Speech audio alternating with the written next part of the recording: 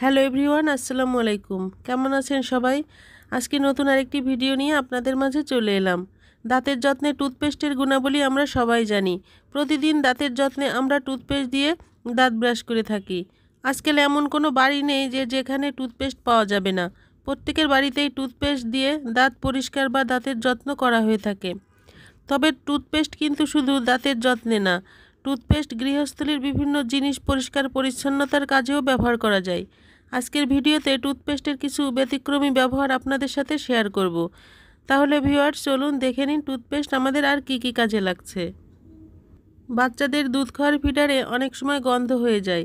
এই গন্ধ দূর করার জন্য ফিটারের মধ্যে একটু পানি দিয়ে দিবেন আর দিবেন সামান্য একটু টুথপেস্ট। তারপরে ফিটারের মুখটা ভালো করে বন্ধ করে নিয়ে কিছুক্ষণ ঝেঁকে নেবেন। কিছুক্ষণ ঝেঁকে নেওয়ার পরে পানি দিয়ে ধুয়ে নেবেন আর সব শেষে সামান্য একটু কুসুম গরম পানি দিয়ে ধুয়ে ফেলবেন। দেখবেন দুর্গন্ধ একবারে চলে যাবে। সোনার যে কোনো জিনিস ব্যবহার করতে করতে অনেক সময় এর কালারটা একটু কালচে মতো হয়ে যায়। তো এটা কিন্তু খুব সহজেই চকচকে করে ফেলা যায়। তার জন্য একটা বাটিতে সামান্য একটু পেস্ট দিয়ে পানি দিয়ে ভালো করে গুলিয়ে নিতে হবে। তারপরে এই মিশ্রণটা সোনার গয়নার উপরে খুব ভালোভাবে ঘষবেন। ঘষে পরিষ্কার পানি দিয়ে ধুয়ে নিয়ে আসবেন। দেখবেন একদম চকচকে হয়ে গেছে। চায়ের কাপে বা মগে চা, কফি খেতে খেতে কিন্তু এমন দাগ পড়ে যায়। তো এই দাগ দূর করা কিন্তু সহজ হয়ে যাবে এই টুথপেস্ট দিয়ে। কাপে একটু টুথপেস্ট লাগিয়ে একটা টিস্যু পেপার দিয়ে ঘষা দিবেন। দাগ দেখবেন সাথে সাথেই কিন্তু চলে যাবে। তারপর এটা পানি দিয়ে ধুয়ে পরিষ্কার করে নেবেন।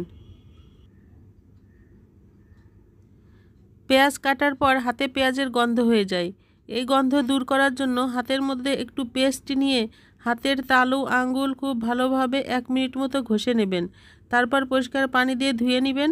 দেখবেন পেঁয়াজের গন্ধ কিন্তু হাত থেকে চলে যাবে।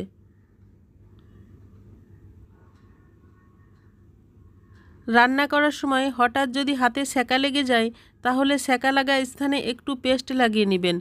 দেখবেন কিছুক্ষণের মধ্যেই জ্বালা পোড়া কিন্তু কমে যাবে।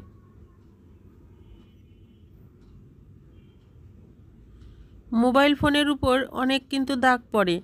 তো এই দাগ দূর করার জন্য সামান্য একটি পেস্ট লাগিয়ে টিস্যু দিয়ে ঘষা দেবেন। দেখবেন একদম চকচক করবে।